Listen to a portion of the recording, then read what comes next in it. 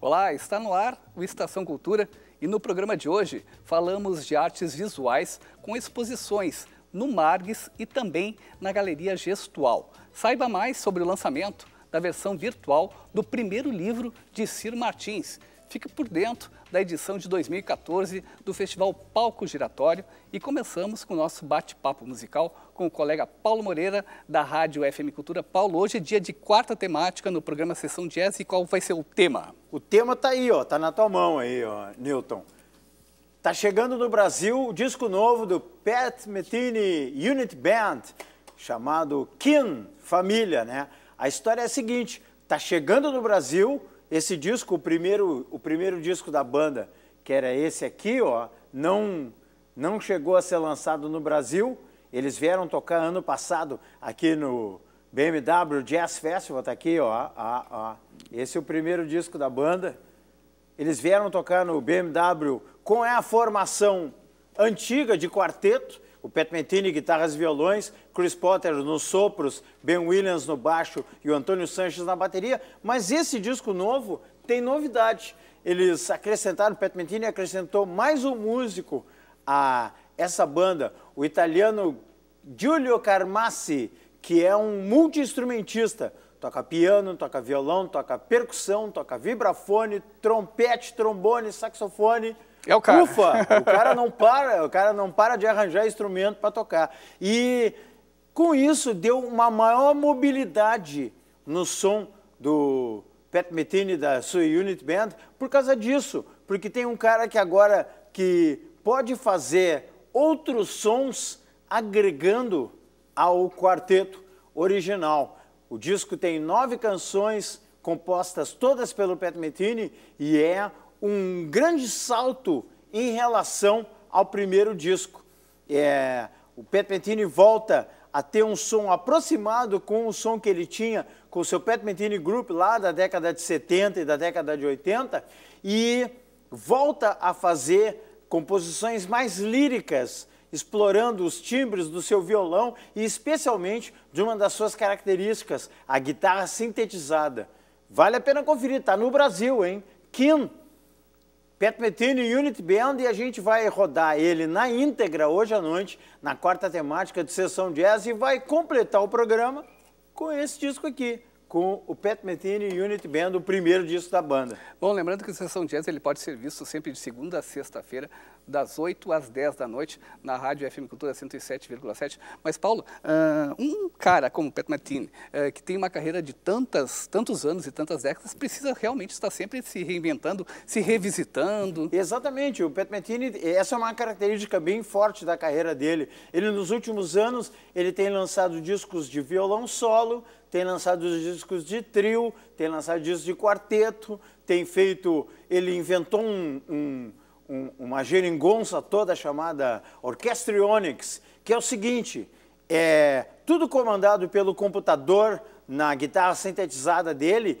e ele tem assim, ele apresentou isso no Rio de Janeiro, é, pratos, vibrafones, é, potes cheios d'água, é, percussões, é, sintetizadores, ele, ele liga tudo, ele media tudo isso na guitarra sintetizada. Então, lá pelas tantas, ele está tocando sozinho e tu ouve uma orquestra inteira tocar. Nossa, que legal. E, e ele traz isso para a Unit Band também. Vale a pena conferir o Pat Metheny e esse disco novo chamado Kin, Família, né? Que é um dos sinônimos de família. Tá no Brasil, tá um precinho bem camarada. E se você quer ouvir primeiro antes de comprar, Hoje à noite, 8 da noite, 107,7 FM Cultura, a gente vai estar mostrando o disco na íntegra para vocês. Legal, Paulo. Obrigado e até quarta-feira que vem. Então. Até quarta que vem. E no Museu de Arte do Rio Grande do Sul está uma nova exposição com obras de seu acervo. É a mostra O Cânone Pobre. Obras frágeis, instáveis, seja poeticamente ou em sua constituição material. Este recorte no acervo do Marx gerou uma nova exposição, intitulada Cânone Pobre, uma arqueologia da precariedade na arte. O cânone é, era a pintura tradicional, né, com origem eurocêntrica, que determinava regras, principalmente para pintura e para escultura. E o, o cânone pobre, então, vem discutir essa questão da canonicidade das obras, só que esse pobre, né, ele não significa uma pobreza realmente, né, porque a exposição ela é bastante rica, todo mundo vai poder ver isso, que as obras são maravilhosas, mas existe a questão da precariedade no tema, ou metaforicamente falando, né, seria no conceito da obra, e também na precariedade do material. A quebra de pressupostos canônicos tem sido uma proposta recorrente nas exposições aqui do Margs. Para tanto, a curadoria coloca lado a lado obras de períodos distintos. Vejamos, por exemplo, A Menina, de Henrique Cavaleiro, pintada em 1952, ao lado da Porca Noiva, de Avenir Comerlato, de 2013 o, Margs, desde a, nessa sua gestão desde 2011, tem priorizado mostrar o seu acervo. Então, a partir do acervo que, que a gente começa a construir uma exposição. Ou tu escolhe o tema, um conceito que tu vai ir mais a fundo, que tu vai pesquisar, como agora essa questão da precariedade na arte, mas sempre a partir de obras do acervo. Vai encontrar sempre um número maior de artistas que fazem parte do acervo do que de convidados.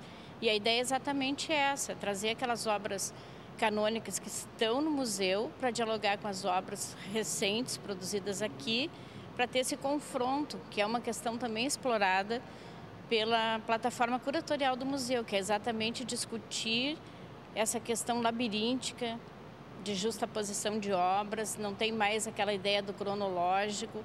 Então tu vai ver obras de grandes artistas misturada com jovens artistas, obras canônicas da coleção com obras feitas recentemente. Então, esse diálogo existe, eu acho que isso tende a aproximar as pessoas.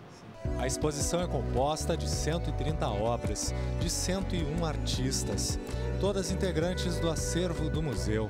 Entre as novas aquisições está o painel do tamanho de um outdoor de Daniel Escobar. Normalmente eu sempre me utilizo muito de materiais bem ordinários, assim, coisas que fazem parte de, uma, de um certo dia a dia da cidade. Então, é, que são que na verdade eu utilizo como uma espécie de matéria-prima para a produção.